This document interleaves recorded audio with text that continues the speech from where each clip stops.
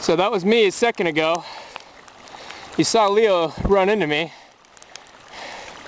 Chris went right after him and did the same thing. Five minutes later, I'm down here. And we're all caked in mud.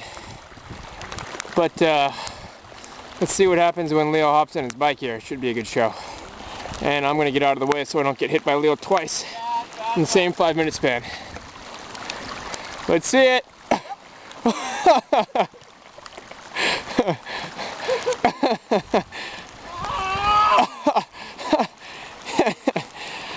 oh. Oh, I can laugh because I just did the same When I thing. hopped on the bike, I realized it wasn't in neutral. Oh yeah, yeah, that'll do it.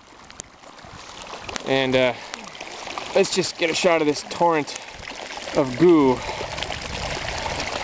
streaming steadily down. And